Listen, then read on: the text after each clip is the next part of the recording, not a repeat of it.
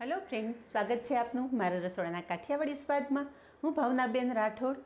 આજે આપણે બનાવીશું ચણાના લોટના લાડુ, જેને આપણે દેશી ભાષામાં લાહા લાડવા પણ કહીએ છીએ. તો ફ્રેન્ડ્સ આ લાડુ આપણે એવી ટ્રીક સાથે બનાવશું કે પેંડાનો સ્વાદ ભૂલાવી દે એવા તૈયાર થશે અને એકદમ પરફેક્ટ માપ સાથે આ લાડુ બનાવશું, જેથી નાના મોટા બધાને પસંદ આવે અને પોચા તો એવા કે મોઢામાં મૂકો ને ત્યાં જ ઓગળી જાય.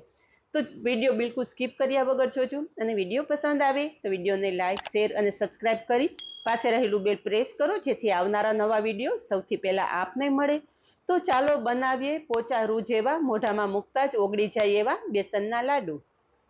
તો અત્યારે મેં પાંચસો ગ્રામ ચણાનો લોટ લીધો છે, જે ઘરે ચણાની દાળ દળી અને તૈયાર કરેલો છે. જો તમે ઘરે ચણાની દાળ દળી અને લોટ તૈયાર કરતા હોય, તો તમારી પાસે પરફેક્ટ માપ ના હોય.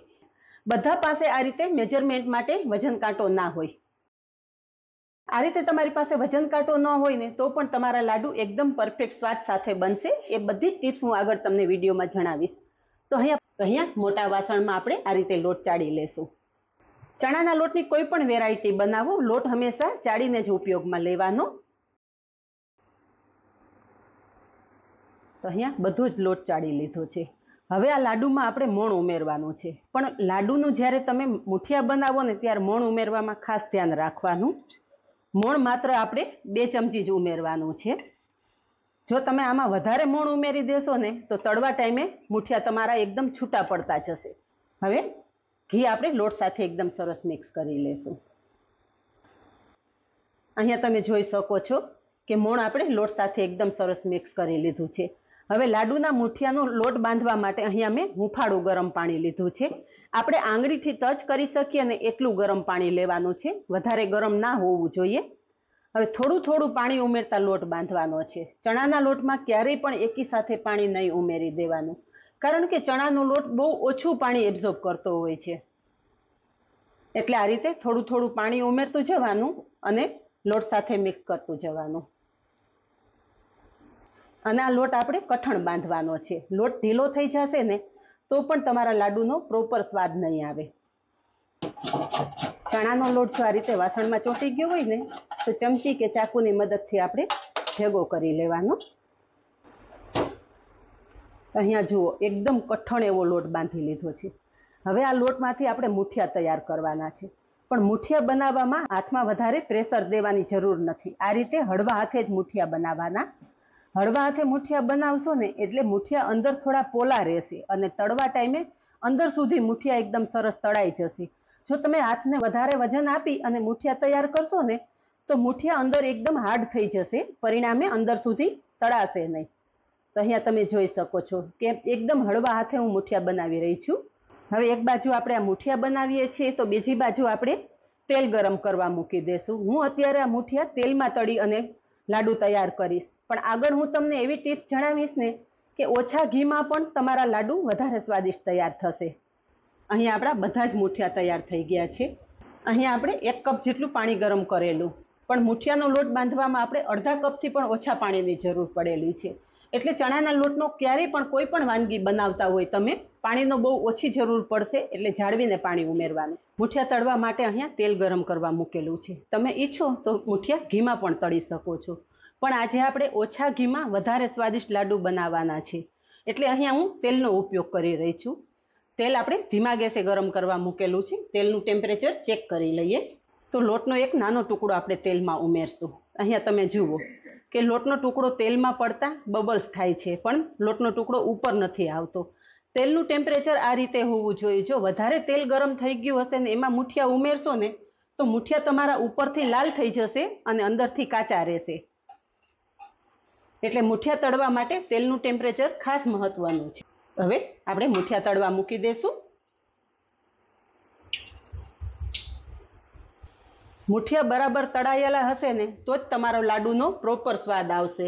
પણ જો તમારા મુઠિયા કાચા પાકા રહ્યા હશે અને તમે લાડુ બનાવશો ને, તો લાડુ ખાવા ચીકણા લાગશે. એટલે લાડુ બનાવવા એકદમ સહેલા છે. પણ અમુક નાની નાની ટિપ્સ તમે ધ્યાનમાં રાખીને લાડુ બનાવશો ને, તો પહેલી જ વખતમાં તમારા લાડુ એકદમ પરફેક્ટ તૈયાર થશે. ઘણાની સાથે એવું બનેલું હશે કે જો લોટમાં મોણ વધારે પડી ગયું હોય ને તો તમે આ મુઠિયા તળો ને એટલે મુઠિયા તરત તેલમાં છૂટા પડવા માંડશે. અહીંયા તમે જુઓ કે આપણા મુઠિયા એકદમ સરસ ધીમા ગેસે તળાવવા માંડ્યા છે. અહીંયા તમે જોઈ શકો છો કે જેમ જેમ મુઠિયા તળાતા જાય છે, એમ મુઠિયામાં ક્રેક આવતા જાય છે. પોલા હાથે તૈયાર થયેલા મુઠિયા હશે ને, તો આ રીતે મુઠિયામાં ક્રેક આવશે. એને હિસાબે મુઠિયા અંદર સુધી એકદમ સરસ તળાઈ જશે. એટલે મુઠિયા તળવામાં બિલકુલ ઉતાવળ નથી કરવાની. એકદમ ધીમા ગેસે આપણે આ મુઠિયા તૈયાર કરવાના છે.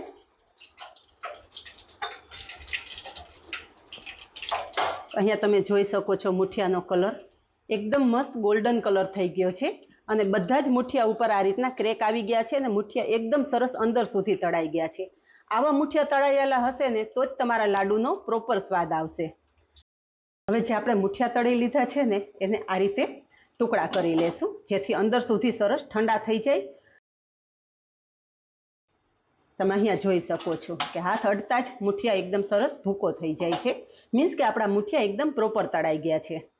અહીંયા બધા જ મુઠિયા એકદમ સરસ ઠંડા થઈ ગયા અને મેં આ રીતે ટુકડા કરી લીધા છે.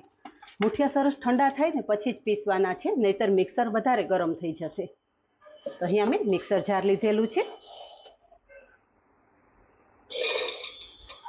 તો મુઠિયાના જે ટુકડા છે એ આપણે મિક્સર જારમાં લઈ લેશું અને પીસી લેશું. આ મુઠિયા પ્રોપર તળાયેલા હશે ને, તો જ તમારું આ લોટ એકદમ પાવડર જેવો લાગશે. નહીતર જો તમારા મુઠિયા કાચા પાકા હશે ને, તો મુઠિયા જ્યારે તમે પીસશો ને, એટલે એકબીજા સાથે ચીપકેલા રહે. અને આ મુઠિયા એકદમ સરસ પીસાઈ ગયા છે, એટલે ચાળવાની પણ જરૂર નથી. અહીંયા તમે જોઈ શકો છો. આ ટાઈમે જો તમને થોડુંક પણ જાડું લાગતું હોય ને, તો એક વખત આ લોટ તમારે ચાળી લેવાનો. જેથી વધારાનો કોઈ ભાગ રહેલો હશે ને તો એ નીકળી જશે. પણ મારે અત્યારે એકદમ સરસ પ્રોપર તૈયાર થયેલ. હવે તમને આગળ જણાવેલું કે વજનનો કોઈ તમારી પાસે પ્રોપર માપ ના હોય. તો એના માટે તમને બેસ્ટ આઈડિયા બતાવું છું કે જે આપણે મુઠિયાનો જે ભૂકો કરેલો છે ને, એ મુઠિયાના ભૂકાનો આપણે પહેલાં માપ કરી લેશું. તો આપણે તૈયાર કરેલું બે સાઈડ પર રાખી દેશું. અને ઘરમાં રહેલું કોઈ કપ વાટકી આ રીતના સેટ કરી લેવાનું.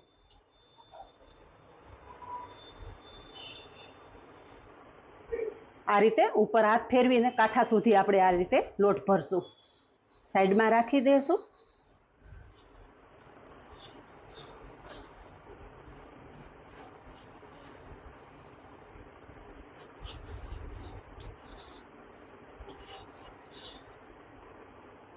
તો અહીંયા તમે જોઈ શકો છો કે આપણો જે મુઠિયાનો બેઝ તૈયાર કરેલો છે ને, એ આ બે વાટકા ભરીને તૈયાર થયેલ છે. તો આપણે જે આ માપ છે ને, એના લોટના માપ કરતા અડધી ખાંડ લેવાની છે.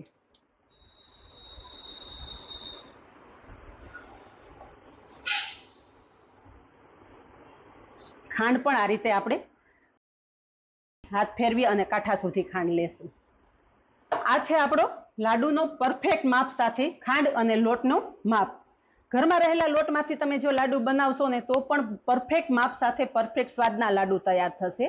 બજારમાં મળતા લાડુમાં એ લોકો કિલો લોટ સામે કિલો ખાંડનો ઉપયોગ કરતા હોય છે. પણ અત્યારે તમે લોટ અને ખાંડનો વજન માપ કરો ને, તો પાંચસો ગ્રામ લોટ સામે આપણે અત્યારે ચારસો ગ્રામ જેટલી ખાંડ લીધેલી છે. એટલે ઘરે બનાવો ને, તો લાડુ તમારે બહારથી લીધેલા લાડુ થોડા વધારે મીઠા હોય છે. તો હવે આ ખાંડની આપણે ચાસણી તૈયાર કરી લેશું. તો ચાસણી બનાવવા માટે ગેસ પર કડાઈમાં જે ખાંડ લીધેલી છે એ ઉમેરી દેશું. અને ખાંડ ડૂબે એટલું પાણી ઉમેરશું. ગેસની ફ્લેમ ધીમી રાખશું અને ચાસણી તૈયાર કરશું. ચાસણી કરવામાં પણ ગેસની ફ્લેમ એકદમ ધીમી રાખવાની છે. જો ફાસ્ટ ફ્લેમે તમે ચાસણી તૈયાર કરશો ને, તો ચાસણી આવી જશે અને તમારી ખાંડ પ્રોપર ઓગળેલી નહીં હોય. મારે ખાંડ થોડી વધારે જાડી છે, એટલે થોડું પાણીનું પ્રમાણ મેં વધારે રાખેલું છે. અહીંયા તમે જોઈ શકો છો કે ખાંડ એકદમ સરસ ઓગળી ગઈ છે. ચાસણી ચેક કરી લઈએ.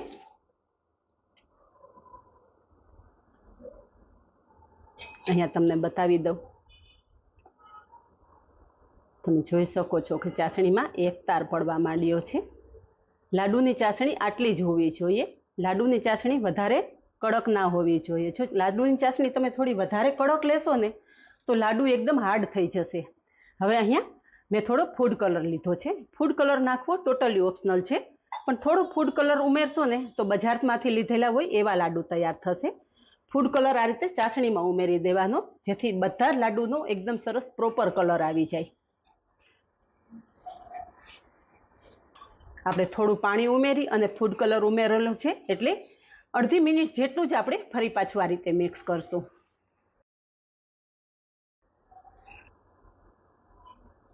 હવે અહીંયા તમે જોઈ શકો છો કે અડધી મિનિટ જેવું ફરી પાછું મિક્સ કરી લીધું, તો પણ આપણી લાડુની ચાસણી એક તારની જ છે.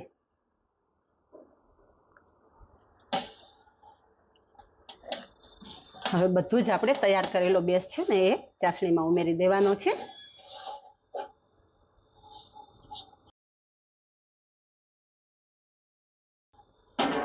આ ટાઈમે ગેસની ફ્લેમ બંધ છે. જો ચાલુ ગેસે તમે ચાસણીમાં લોટ, આ બેઝ ઉમેરવાનું રાખશો ને, તો ચાસણી વધારે આવી જશે.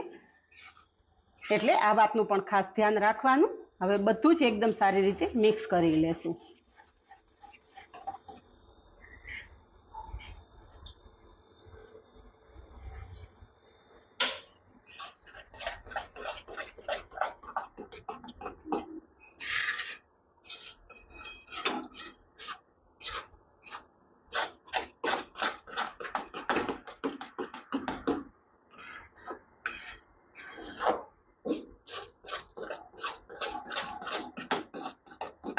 તો અહીંયા તમે જોઈ શકો છો કે એકદમ મસ્ત ઓરેન્જ કલરના લાડુનું મિશ્રણ તૈયાર થઈ ગયું છે.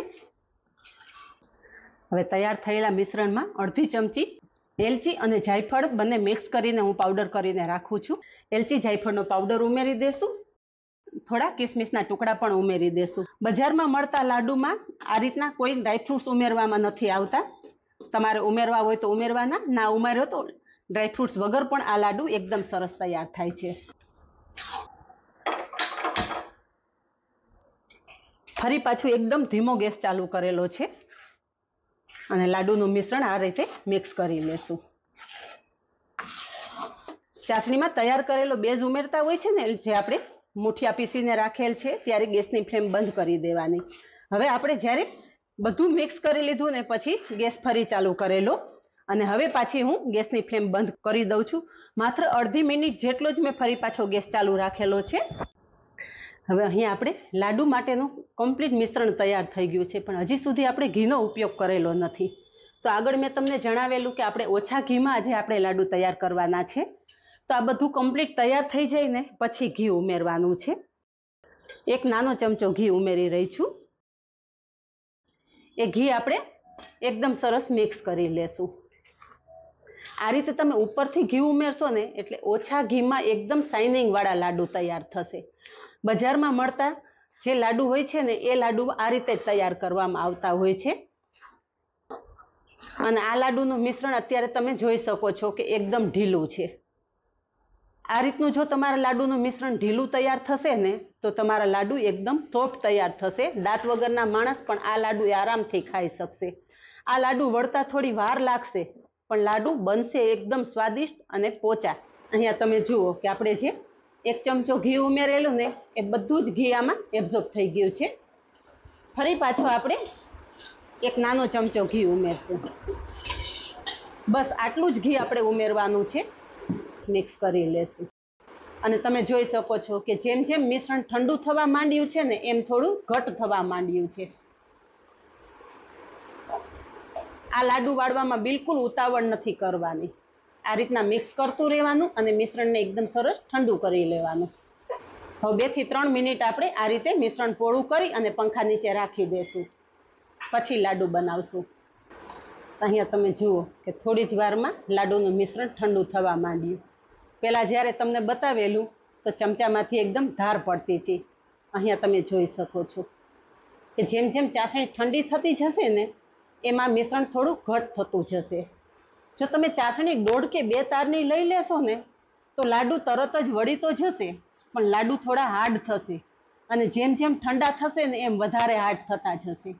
આ લાડુ જેમ ઠંડા થશે ને, એમ આવા નવા પોચા રહેશે અને સ્વાદિષ્ટ પણ રહેશે. અહીંયા મિશ્રણ સરસ અને હાથેથી ટચ કરી શકાય એટલું ઠંડુ થઈ ગયું છે. હવે હાથ ઉપર થોડું ઘી લગાવી લેશું. ઘીવાળો હાથ કરી અને જે સાઈઝના તમારે લાડુ બનાવવાના હોય ને, એટલું મિશ્રણ હાથમાં લઈ અને આ રીતે લાડુ બનાવી લેવાનું. પણ આ લાડુનો પણ પ્રોપર શેપ અત્યારે નહીં આવે. લાડુ ઠંડા થશે ને પછી આ લાડુનો પ્રોપર શેપ આવશે. એટલે આ રીતે લાડુ બનાવી અને તમારે પ્લેટમાં મૂકતું જવાનું.